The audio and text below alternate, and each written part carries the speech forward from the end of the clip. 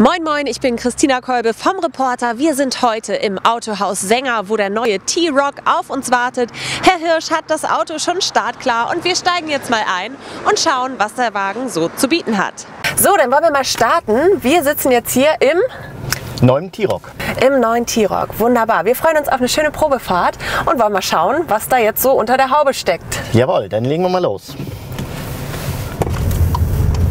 Herr Hirsch, wie sieht es denn aus mit der Zielgruppe für das Auto? Wer hat hier besonderen Spaß dran?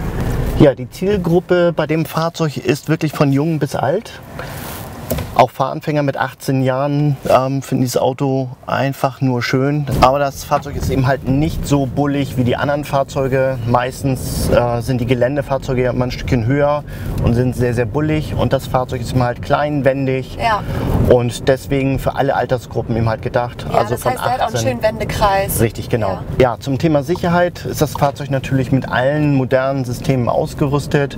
Äh, ob das jetzt der Lane Assist ist, ähm, der einen in der Spur hält, äh, ob das die aktiven Bremssysteme sind. Ähm, heißt also, wenn Ihnen tatsächlich ähm, in der Stadt als Beispiel ein Kind vors Auto läuft, bremst das Auto automatisch. Also er ist wirklich mit den modernsten Systemen ausgerüstet. Mhm.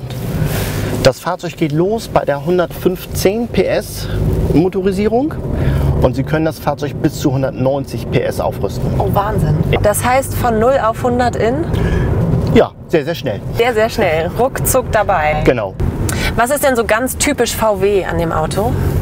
Ja, natürlich die Sicherheitssysteme, dass da natürlich alles auf dem aktuellen neuesten Stand ist. Die Qualität des Fahrzeuges. Ja. Ähm, hier klappert und klötert nichts in dem Fahrzeug. Ähm, was natürlich sehr, sehr gut ist, sind immer die Spaltmaße bei Volkswagen. Mhm. Das heißt also, alle Bauteile sind entsprechend mit ganz geringen Spaltmaßen ausgerüstet. Was ist ein Spaltmaß? Spaltmaß ist zum Beispiel der Abstand von dem Kotflügel zur Motorhaube. Okay. Jetzt müssen wir noch mal über den Preis sprechen. Was kostet denn der Spaß so in der Grundausstattung? Ja, das Fahrzeug geht los bei 20.390 Euro. Ja, und nach oben sind fast wie immer keine Grenzen gesetzt. Ja. Also Sie können so ein Fahrzeug, auch wenn Sie alle Systeme, großen Motor, alles mit reinbestellen, ähm, landet man auch zwischen 35, 40, 42.000 Euro. Mhm aber Grundpreis bei 20.390 Euro. Es gibt aber ja auch eine ganze Menge Extras zu dem Auto, die man so dazu kaufen kann. Ja, ne? Da kann man wahrscheinlich ankreuzen, dies, das und jenes. Was genau. ist denn da so, sag ich mal, das Exklusivste? Wo ist das letzte Kreuzchen, was man noch setzen kann? Also man kann da ähm, viele Sachen neu dementsprechend auch mit ankreuzen. Da gehört zum Beispiel das Aktiv-Info-Display äh, dazu. Das mhm. heißt also, Sie haben nicht mehr die berühmten Zeiger, die in die Geschwindigkeit und alles weitere anzeigen, sondern es ist alles ähm, in Digitaltechnik. Ja. Ähm, hat zum Vorteil, dass Sie jetzt zum Beispiel auch in diesem Fahrzeug, wenn Sie die Navigation anhaben, dann haben Sie die Kartendarstellung nicht immer nur ähm, im Radiobereich, ja. sondern Sie können das ins Display rein äh, projizieren, ja. dass Sie also auch die Kartendarstellung im mittleren Bereich haben. So brauchen Sie nur immer kurz gucken. Ja, das ist praktisch. Ja, wollte ich ja. gerade sagen. Ähm, wie ist es denn so mit dem Platz? Kriege ich meinen Wocheneinkauf hier gut untergebracht? Ja, das kriegen Sie natürlich. Der Kofferraum hat natürlich die entsprechende VW-Größe. Was bei dem Kofferraum noch schön ist, Sie haben auch hier einen doppelten Ladeboden mit drin. Das heißt also, wenn Sie die berühmte Getränkekiste haben, dann ist sie wie beim Kombi auch auf einer vernünftigen Höhe, sodass Sie ihm halt den Rücken dadurch entlasten können. Und wenn Ihnen einfach die Zentimeter von der Höhe her fehlen, dann legen Sie einfach den doppelten Ladeboden eine Stufe tiefer und schon können Sie ihm halt wesentlich mehr beladen. Und was bei dem Fahrzeug noch schön ist, ist der Tempomat.